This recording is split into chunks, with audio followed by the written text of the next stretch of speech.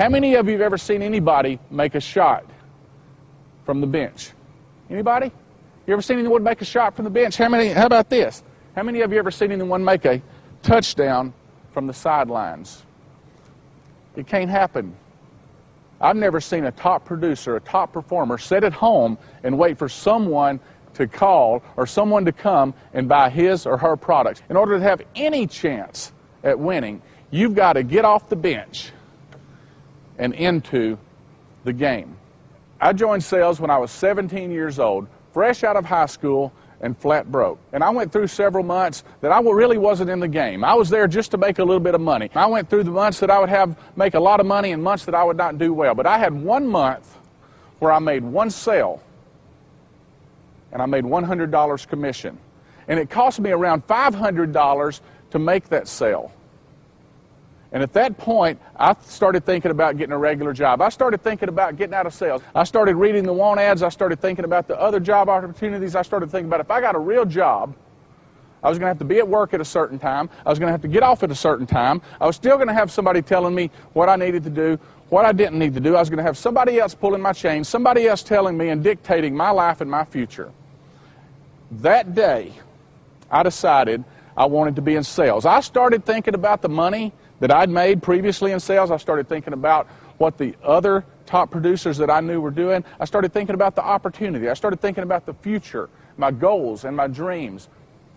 That is the day I made a decision that I was going to do whatever it takes to get off the sidelines. I was going to do whatever it takes to get in the game. Over the next few years, I did really well. I was one of the top salespeople in the nation. I had many ups and downs and I had a lot of challenges, but I'd done real well in my sales career. And I decided I wanted to go to the next level. I wanted to own my own sales office. So I got with my future wife, Susan. We made some arrangements. We decided, um, we made some decisions, and we started our life together. We also started our own sales office. And it went okay at first, but then I went out one morning to get my car, and when I went out, my car was gone. I called the police, and the police said, Mr. Cox, have you made your payments yet? And I realized that I hadn't. My car had been repoed. I had another decision. I was at another turning point in my life. That day, I went out and made, I borrowed someone else's car. That day, I went out and made three sales. I made enough money to get my car back and also pay my rent up to date. And I've never been broke since that day. I've had a lot of other ups and downs, which I'm going to share with you, but I've never been broke since that day.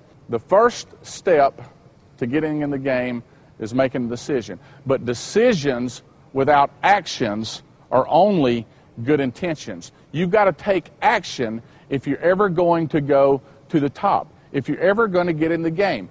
You can get in the car, you can mash the gas, but if you never put the car in gear, you're never going anywhere.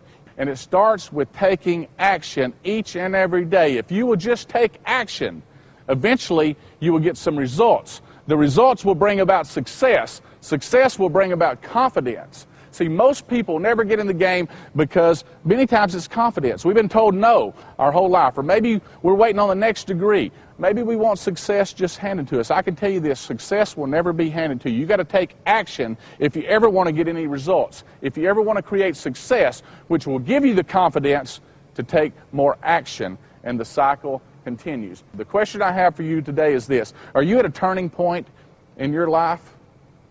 Are you at one of these pivot points?